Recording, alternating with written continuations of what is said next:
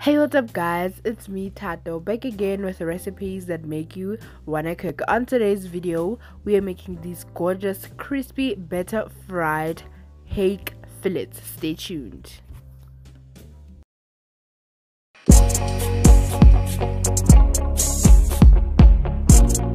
Let's get started guys and as usual I will leave all the ingredients in the description box down below. Now I'm gonna go ahead and start off by seasoning my fillets with this fish spice. You can use any fish spice you want or any fish blend spice that you can make of your own and I'm just gonna sprinkle a little bit. You know spices just melt into the fish like wow so a little bit just goes a long way because we're still going to season our flour so i want to make sure that not only the coating is seasoned but the fish as well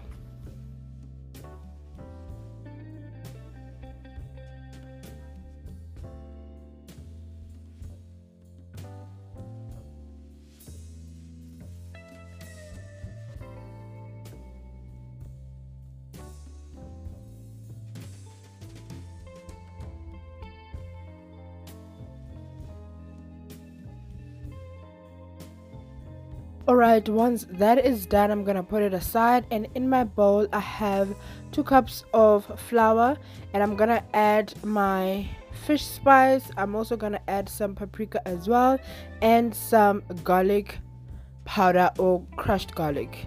In my instance, it's just garlic powder, okay, because it's ground. Excuse me, guys, I'm coming up with a little bit of flu, and it's the pits, okay? So you want to make sure that your flour is really, really, really seasoned because, honey, I cannot stand like bland coatings. It's either on chicken, on fish, or anything that is fried. The inside throughout the out, it has to be sufficiently seasoned. So I'm just gonna mix that through. You can. I'm making this batter and I didn't really measure because I thought I had a lot of fish, but it turns out I didn't have a lot of fish, so we can just eyeball it. Then for my water to make the batter or liquid, I'm going to add 500 ml of lemonade. You can use beer. I didn't want to use alcohol. I just wanted to use something um, with acid, so I opted for lemonade. You can use um, it wasn't my man now I forgot you can use beer yes.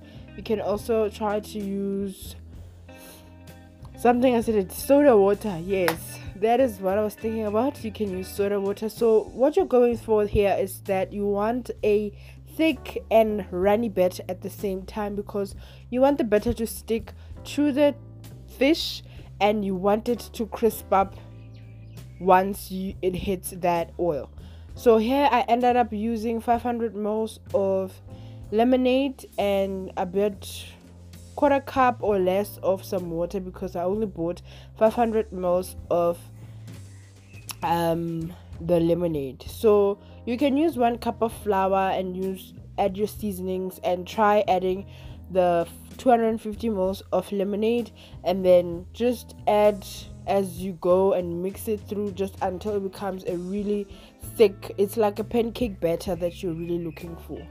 So you're just gonna mix it and keep adding your liquid until you have no lumps and it's looking so smooth and beautiful like this. It's still thick but it's still ready and it's gonna coat perfectly on the fish.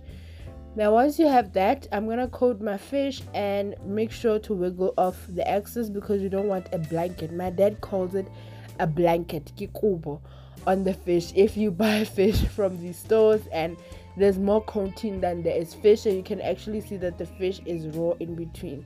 So we don't want a blanket so make sure after you coat you um, shake off the excess and it's also important that your batter is thick but thin so that the coating doesn't become does not become a blanket to your fish. So yes now you want to fry until golden brown. Once the the coating is golden brown the fish is cooked inside and these were really uh, small baby hakes so the fillets were thin as well. So it didn't take time to cook. Fish also doesn't take a time to cook. I think maybe we i fried this. I almost said we flew. Oh my god.